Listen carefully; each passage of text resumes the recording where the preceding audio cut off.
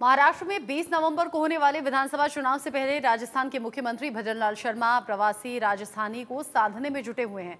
CM Bhajanlal ने महाराष्ट्र में राजस्थान के प्रवासियों के कार्यक्रम में शिरकत की। सीएम भजनलाल ने कहा कि महाराष्ट्र में महायुति बहुमत के साथ सरकार बनाएगी।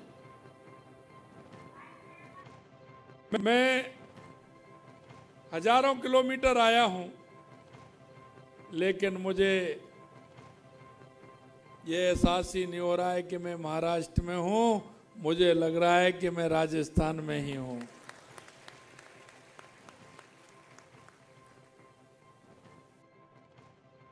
क्योंकि आपने जो यहाँ किसी ने सौ साल, किसी ने डेढ़ सौ साल, दो सौ साल, तीन सौ साल पहले आकर के हमारे उन बुज़ुर्गों ने, हमारे पूर्वजों ने, जो मेहनत और ईमानदारी से, समर्पण भाव से जो काम किया है, सबसे पहले तो मैं आप सभी को दिल की गहराइयों से उसके लिए मैं बहुत बहुत धन्यवाद और साधुवाद देना चाहता हूँ। क्योंकि आपके मन में जिस कल्पना थी और वो राजस्थान की मिट्टी की खुशबू थी।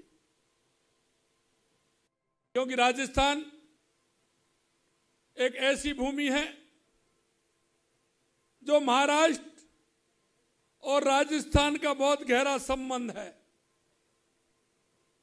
क्योंकि इधर महाराष्ट्र के अंदर छत्रपति शिवाजी महाराज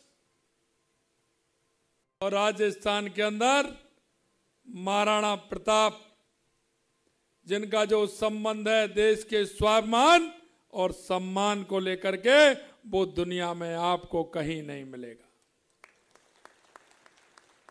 और वो राजस्थान की खुशबू, क्योंकि वो शक्ति की धरती है, भक्ति की धरती है महाराणा प्रताप की धरती है, महाराजा सूरजमल की धरती है। की प्रतिमूर्ति पन्याधाय की धरती है। भक्ति की मूर्ति मीराबाई की धरती है।